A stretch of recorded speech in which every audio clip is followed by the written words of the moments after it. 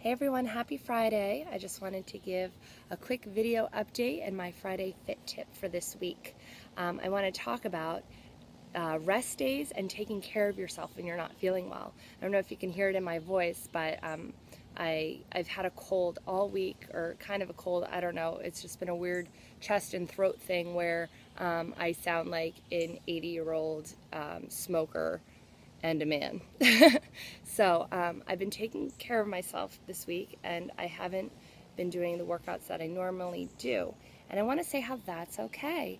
I feel like sometimes, especially in the fitness community, we can just be a little too um, intimidating. And I think what happens when we're all like every single day, yeah, you know, leave it all at the gym, go 110%. And well, that's really important, and there's a certainly a place for that. There's also, if you push yourself too much and keep pushing yourself through your illness, through injury, you can actually do a lot of damage that is going to prevent you from doing any activity for days, weeks, maybe even months on end. And that's not what we want. Taking a day, a couple days, a few days here and there is okay. And I, I think maybe what sometimes happens, using that word intimidated again, is that people think, well, if I want to get the work if I want to get the results I want, I have to do the work. And that is completely and utterly true.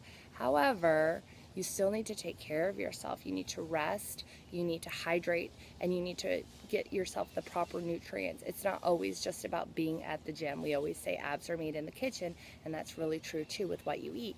So on those days, if you're like me and you're you have a cold or you have some um, light injury or something like that, it is okay to skip your session at the gym and just, you know, kind of make those changes in the kitchen and be more aware of what you're eating. And then you won't be as far behind because when you're feeling better, then you can really get that workout in that you need and, and make up for a little bit as well.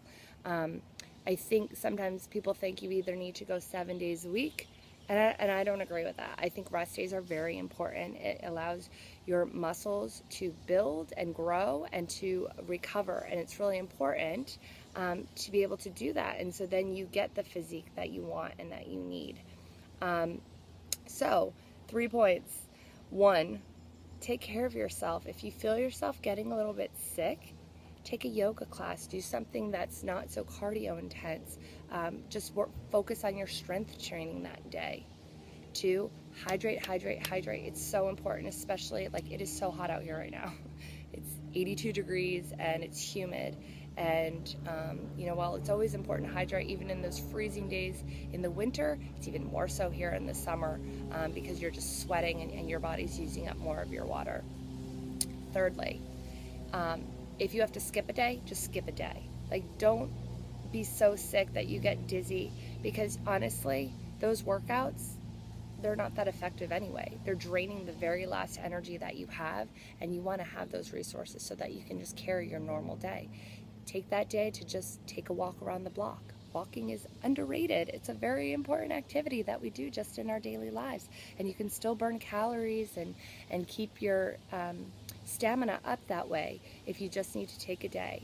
Um, what I've been doing this week because I have this chest cold, um, I'm so blessed that my um, my gym slash employer um, we have beautiful locker rooms with um, a steam room and a sauna. So what I've been doing a couple days this week is going in the steam room and just letting it open up my lungs, being able to breathe, taking a hot shower, and then going in the sauna to dry off and to still get that. Um, I'm, I'm kind of hoping to like sweat out any toxins that are causing whatever this is. So anyway, that is your Friday fit tip. Do not be afraid of rest days.